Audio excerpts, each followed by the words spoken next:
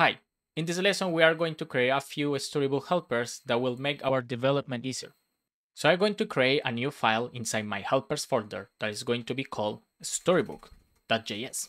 And here I'm going to create three functions. So first, let's import React because there are going to be some JSX code involved. Then let's import the get classes from our previous utils. This is going to be from styles. And let's start with the first one. So remember that we have our templates in Storybook. We are going to create this special function that will help us to create a better template from our current case. This get template is going to receive as a first argument the component and as a second argument the styles, the CSS module styles. And then it's going to return a function that will receive the arguments as usual with the templates. And what we are going to do is a similar thing as we did with the high order component. We are going to define the all props that is basically spread all the component default props and then spread the arguments. And we are going to return the component, in this case, with the arguments, and we are going to pass the get styles function. And this get style functions is just an implementation of the get classes where we'll receive the styles, then of course all the props, and we can close that. So this is our get template helper. Remember that when we want to create multiple templates, we call the template list. So we need another helper for that. I'm going to call it get list template, and it's going to have the same signature, the component, the styles, and it's going to return a function that will receive an object and this object is composed by the items remember as we did it before and the arguments. This is going to be a little bit special but we're going to iterate the map and per each item we are going to do a similar thing as we did it above. We are going to get all props and all props is basically spread the component default props with the arguments and with the item. Then we just return the component. Needs the key because we are iterating this. And then we spread the arguments and we spread the item. Finally, we can also pass the get styles. And as you remember, it's just an implementation of get classes with the styles and of course all props. Something is happening here. Let me see. There is a bad syntax and it's because this parenthesis it shouldn't be here, but rather than here. And we need to close this component and that should do the trick. So we have our two helpers here, get template and get list template. Our last helper is going to be something called get options argTypes. So remember that we mentioned before that for the argTypes, we will make a helper function. This is the opportunity. So basically, it's just a copy of what we did before. So we have the description, where it's basically there were options involved. Remember, this is markdown. Then we have the table that has the type. And inside the type, we have the summary. In this case, we are going to map the options. And for per each option, we are going to write this description. So we want take the option here and then join it with a pipe.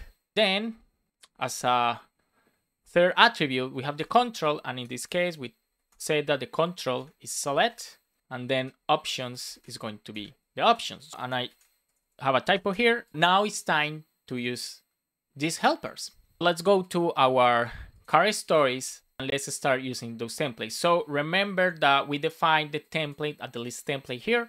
So we don't need that anymore. And what we are going to do is just above, and in this case, a template is just going to be get template, where I have the car and the styles. So in this case, what I can do is import the car styles. So I can just go styles from car.module.css. And then, uh, of course, I need the list template. For this one, I will use that get list template and it's same story, car, and styles. Finally, the argTypes that we already did it before are going to be pretty easy because then I don't need this whole thing or this whole thing But instead, what I'm going to do is use our get options, our types, and I will pass options that colors here. And for the sizes, it's just going to be options that sizes. Look, that simple. We just delete all of the code basically there. Let's see if this is working or we have some typo, some kind of error. So as expected, I have an error. So remember, you just need to inspect the console. Here, you can see that it's saying the options map join with the G is not a function. Yes, that's a typo. So if we go here, we will find that here we have the G. So this shouldn't be like that. And that looks like it's working. And look, we still have the descriptions working here. And we can change this here.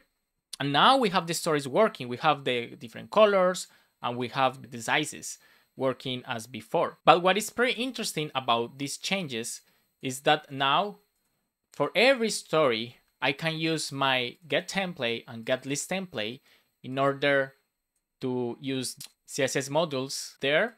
And of course, I can visualize the code as before. And the same for get the argTypes. So in that case, we can have this nice eh, documentation where it describes what are like the options for these different props. And of course, use them in the select. So we can of course move it to large or move it to primary and play with it. And then the code remains the same. There is one last change that we need to do here in order to recover our default props. And what we need to do, remember that we talked about these two props that we aren't using anymore. So we need to move this from here. And in React, you have what is called the default props. So we can just right here, default props, and then we can define what is going to be the default value of these two props because we are not using them anymore here. After move those props into the default props, there is something that we need to change because you didn't notice but in reality, before we change everything for the get template and the get list template, we were having exactly the same behavior here. And that's because we were importing directly the car. But in this case, we are going to return the car without the HOC. And that's why we move everything that the HOC does into the helper. So now with this, we can use the car without the HOC, implement the styles using the helpers, and seeing reflected the default values here. And now again, we have everything as it should be. And if it's not clear, let's take a look back into the car. So before we were using the version with the HOC, but because Storybook don't really understand how the HOC implement the default props, we have to move that into the templates. But what we are doing instead is just taking the car without the HOC and just create a similar implementation into this helper that will just put the default props and the styles. And then everything works perfect. In our next lesson, we are going to see how to implement global parameters in a storybook. See you in the next one.